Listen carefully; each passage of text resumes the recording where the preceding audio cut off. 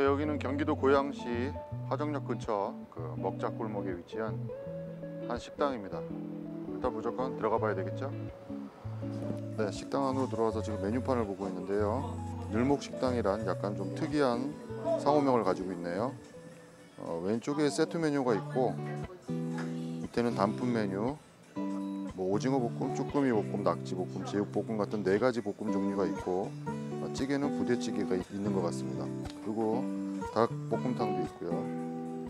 사이드 메뉴로 보면 바삭전, 주먹밥이 있고 계란찜이 있고 공깃밥이 있네요. 가게 분위기는 저게 문 입구 쪽이고요. 옛날 식당 같은 그런 미닫이 문. 세트 메뉴를 주문하고 지금 기다리고 있습니다. 아, 이 화정에도 어, 맛집으로 유명한 집이 굉장히 많은 걸로 알고 있습니다. 이곳에도 제가 예전에 또 한 번 소개시켜드린 집도 있죠. 기억하세요? 꼬막무침 전문점. 다 잊어버리셨죠? 오늘은 이곳에 왔는데 이곳을 소개받은 것은 아니고 어, 여기는 솔직히 검색 신공으로 알았습니다. 리뷰수가 엄청 많고 뭐 유명한 집은 아니었습니다. 대부분 보면은 이제 소소하게 개인 블로그에 이 동네 화정에 적어도 10년 이상 사시는 분들이 살면서 알게 된 집이라고 합니다. 그래서 그런 집들의 블로그인데 블로그 조회수도 몇 개 안 돼요. 7회, 8회 조회수도 그 정도밖에 안 되는데 지극히 개인적인 블로그인 거죠. 그런 분들이 추천하는 가게를 저는 집중적으로 서칭을 합니다. 인터넷으로 이제 검색을 할 때는요. 그래서 여기 느낌이 탁 왔어요. 아, 이집 괜찮을 것 같다. 그래갖고 오늘 처음 방문한 겁니다. 어떨지는 아직 모르는 거지. 하여튼 메뉴를 주문해 놓고 기다리고 있습니다. 네, 기본적으로 나온 찬이 나왔네요. 이쪽부터 단무지, 그다음에 콩나물. 콩나물이 이제 아무 양념이 안 돼 있는 걸로 봐서는 볶음 종류에 섞어서 비벼 먹으라고 양념이 안 돼 있는 것 같습니다. 우리는 옛날 소스라고 하는데 요즘 사람들은 핑소라고 한다고 하더라고요. 어묵, 지금 어묵도 다른 양념은 안 돼 있어요. 그다음에 계란찜인데 이 느낌이 전달이 되려나요? 그걸 뭐라 그러죠? 수프레? 수프레처럼 제리포처럼 찰지네요 이렇게. 계란찜을 한번 먹어봐야 되는데요. 어우 상당히 찰랑찰랑합니다. 간은 진짜 소금 간만 살짝 아주 살짝 돼 있어요. 싱겁다고 하실 분들은 싱겁다고 생각할 수도 있을 정도로 진짜 간이 미세하게 살짝만 돼 있어요. 굉장히 부드럽습니다. 아, 기본 안주가 나왔는데 술을 안 먹을 수는 없죠. 마냥 기다릴 수는 없으니까. 자 오늘도 첫 잔을 가까이 대야 소리가 나겠지? 오늘은 주위 환경 때문에 안 나겠다. 자 오늘도 한번 마셔보겠습니다. 아 오늘은 제가 오늘 아침에 김치 즉석라면이라고 있잖아요. 오전에 먹고 그 이후에는 아무것도 안 먹었어요. 그리고 지금 저녁 시간인데 공부 시간이 꽤 길은 거죠. 그래서 그런지 소주가 약간 설탕을 살짝 뿌린 것처럼 달콤합니다. 자, 오늘은 또 몇 병이나 마실 수 있을지 모르겠지만 오늘은 일단 첫 잔은 달콤합니다. 달아. 네, 고맙습니다. 여기는 이제 바삭전이라고 부르는데요. 바삭해서 오징어가 많이 들어간 오징어전이고요. 보니까 파란 거는 미나리처럼 보입니다. 어, 밀가루가 별로 많이 안 넣었어요. 제가 이제 선호하는 스타일의 전인데 저 밀가루 많이 넣은 그런 아 비하하는 거 아니에요? 동네 파전식으로 밀가루 엄청 많은 그 저는 저는 별로 선호하지 않습니다. 최대한 밀가루가 없는. 오우 소리 소리 들리세요?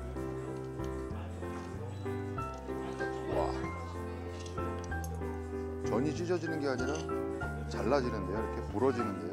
일단 아무 것도 찍지 않고 한번 먹어보도록 하겠습니다. 아 술을 먹고.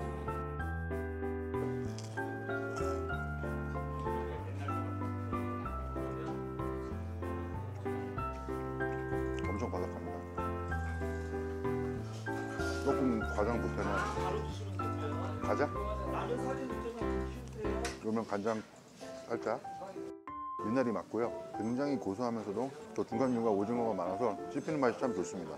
그리고 이거는 바삭을 넘어섰어요. 바삭한이 아니라 바짝한. 아, 저 어떤 분은 이거를 인생전이다 해서 블로그에 올리셨는데 어, 맛있고 되게 바삭하고 그 다음에 밀가루 안 넣고 최대한 줄여서 재료 많이 넣고 그 인정하는데 인생전까지는 그걸 인정 못 하겠어요. 하여간 맛있습니다. 지금 생각난 건데 전이라기보다는 오히려 튀김류에 가깝지 않을까 그런 생각을 해봅니다. 자 그래서 오늘 이렇게 메인이 다 나왔네요. 볶음이 네 가지가 있다 그랬죠? 제육볶음, 쭈꾸미 볶음, 그 다음에 낙지볶음, 오징어 볶음이 있는데 이게 전이 오징어전이라서 겹치는 것은 피하려고 쭈꾸미 전을 시켰습니다. 음, 이건 양배추고 양배추파, 쭈꾸미, 통깨 냄새에서 불향이 많이 나고요. 쭈꾸미만 근데 일단 처음 느껴지는 게 불향 매운맛이 딱 와요. 단맛은 별로 그렇게 심하게 달지 않습니다. 볶음집 가면은 굉장히 단집이 많은데 많이 안 달아요. 그리고 짜거나 그렇지는 않네요. 주꾸미 볶음이나 낙지 볶음 전문점 가면은 좀 간을 세게 해주거든요. 밥을 비벼 먹거나 뭐 콩나물을 섞어 먹거나 소면 같은 거를 섞어서 먹게 하기 위해서 간이 좀 세게 나오는데 여기는 간이 그렇게 센 편은 아니에요 처음에 주문할 때 물어보시더라고요 소면을 줄까요? 밥을 줄까요? 물어보더라고요 저희는 소면으로 주문을 했는데 소면이 나와서 비벼 먹으면 또 더 맛있을 것 같습니다 자, 두 병째를 깠습니다. 아, 그리고 이제 드디어 소면이 나왔어요. 소면은 오, 꽤 많이 주셨네요. 이거 먹으면 2차는 못 가겠는데요. 한 번에 다 섞으면 안 되고요. 한 3분의 1 정도만. 원래 싹 비비고 참기름 한 방울 딱 떨어뜨려줘야 맛있는데 면이 양념을 쭉쭉 먹고 있습니다. 그럼 이번에는 면만 먹어볼까요?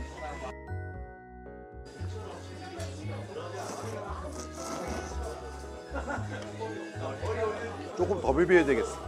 면에 간이 다 안 뱄어요. 조금 더 비벼야 될 거예요. 그 면에 양념이 좀 배라고 두고 아까 우리 먹었던 바삭전 있잖아요. 얘를 떡볶이 국물에다가 튀김 찍어 먹잖아요. 그런 식으로 아, 주꾸미 볶음 양념에 찍어 먹어도 맛있을 것 같아요. 이런 식으로. 이런 식으로. 떡볶이 국물에 튀김 찍어 먹는 그 맛은 아닌데 그런 느낌이에요. 이게 면인지 콩나물인지 알 수가 없네.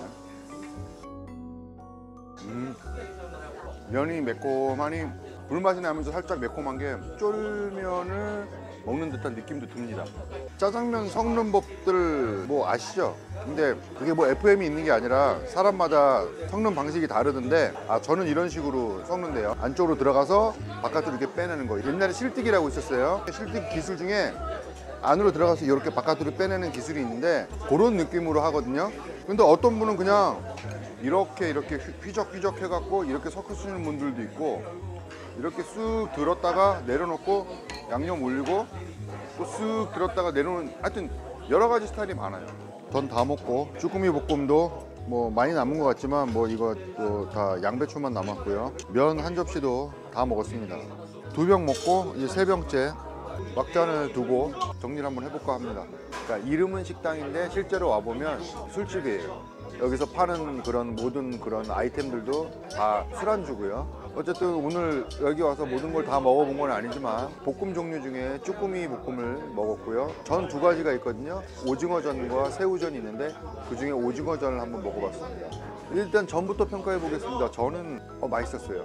굉장히 바삭하다 못해 제가 바짝하다고까지 말씀을 드렸는데 어, 마지막 가운데 중심까지도 바삭했습니다.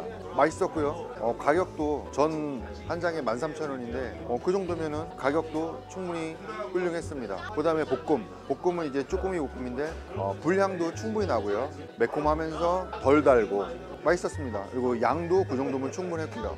맛있고 괜찮은 집이고 그리고 어, 가격도 괜찮고요. 차후에도 충분히 그 오고 싶은 생각이 드는 그런 가게라고 평하고 싶습니다. 다 먹었나?